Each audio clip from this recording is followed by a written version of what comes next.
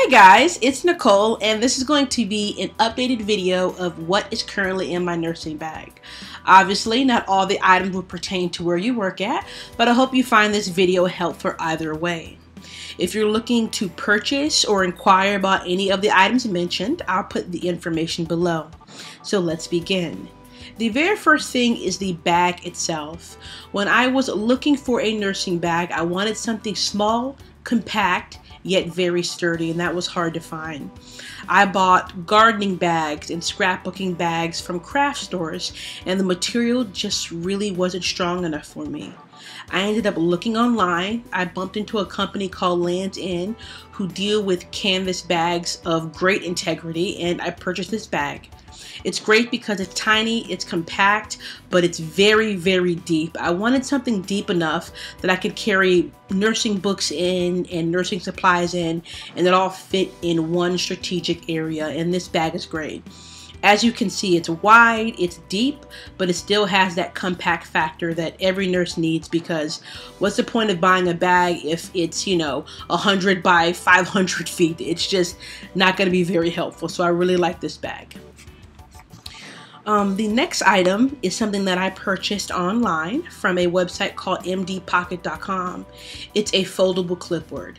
I don't know about you, but I, I love this concept and I've been using this for at least six or seven months now. It's great because I can't always find a surface to write on. Sometimes I'm given orders verbally or I'm given tasks to do and I used to write them on my arms and hands. With this I'm able to have a surface to write down things. Um, this thing is also compact enough to where I can put my reporting sheets on it as well. It's like a little binder that fits in your scrub pocket and I know it doesn't look like it but this bad boy fits in my two front scrub pockets so I have all the information I need, all my documentation in one area. Um, if you're one of those people that really doesn't have a lot of time as a nurse and you're running around and you're trying to find something that's stationary that can keep all your reporting sheets and all your things to do in one area, I would recommend something like this.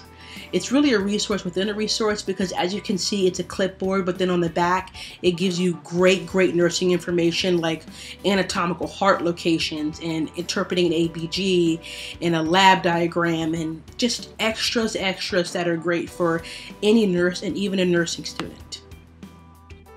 The next item shown here is a book recommended by my preceptor called Quick Reference to Critical Care. This book is great because when I am unknowledgeable about a disease process or a surgical procedure, I could always look to this book for information.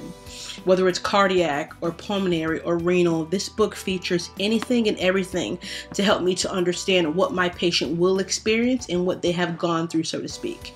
It's a great resource. Um, I don't use it daily because I've created, you know, that nursing database to understand what patient population you're going to be dealing with. But if you're a new student, this book would be very helpful.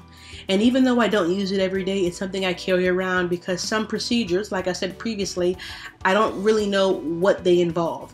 I know the procedure's name, like a Whipple, but I don't know what the Whipple involves until I open this book and read it, and then I'm more educated on what my patient has gone through and what I need to look for as far as nursing interventions or possible surgical complications. The next book shown here is specifically for transplant nurses. Um, this is not the actual way the book looks originally. I purchased a hard copy of the book, I used it, and I realized it really wasn't travel friendly. So I returned the hard copy. I went to the publisher's website and noticed they had a PDF version. I purchased that. I went to FedEx Kinko's, had it resized, and this is my very own pocket guide of transplant drugs. Um, this book is great because it features every drug that I couldn't really find any information for online. I know what you're saying. Well, at your job, don't they provide you with resources? They do, but for some reason, when it comes to drugs of this nature, it's very hard to find information on duration and peak time and what these drugs do. So I wanted a book specifically for this drug category because I was lacking information there. I don't know about you, but nothing makes me more nervous than when I give a patient a medication and I can't really articulate what it does and why they're using it. So this book has been very, very helpful to me. Um, this book here, Lab Notes, is also great because nothing irks me more than me ordering a lab and not knowing what it does or what it looks for. Because if it comes back critically low or critically high, I'm not sure what that indicates. So this book here, Lab Notes, is great because it gives you MRI, CAT scan, you know, blood work, anything and everything.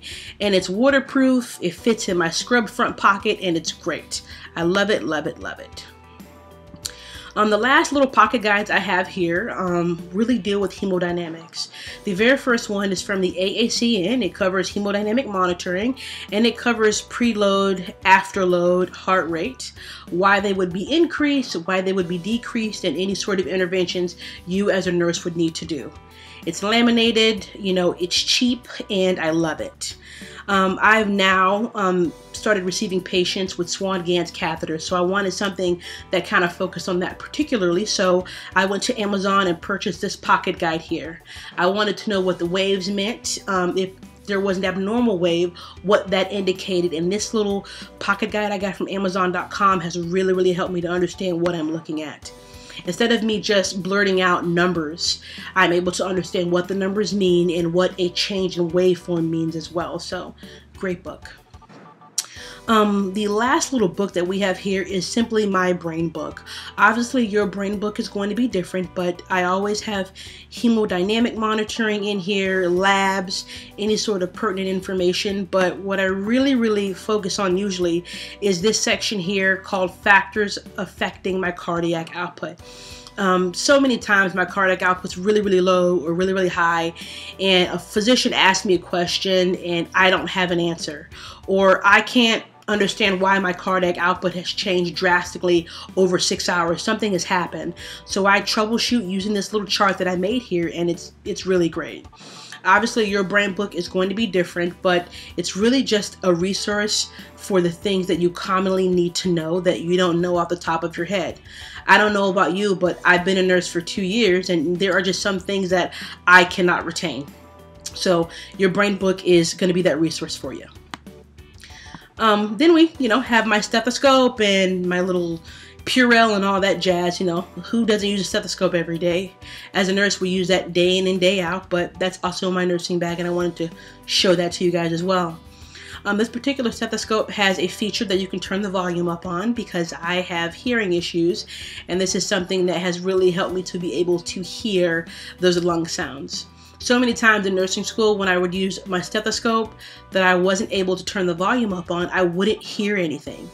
I wouldn't hear inspiratory, expiratory. It was as if I, you know, just put the stethoscope to dead air. Like I didn't hear anything. With this stethoscope, I hear good, bad, and you know, indifferent. But it's great. I love it. And that's really it, guys.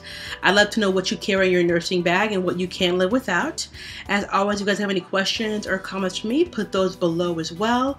Thank you for watching, guys. Have a good day and take care. Bye. Helpful either way. Um, all the information, just, Jesus Christ. Hey guys, it's Nacole and this is going to be an updated video of what is currently in my nursing bag. Obviously, oh God.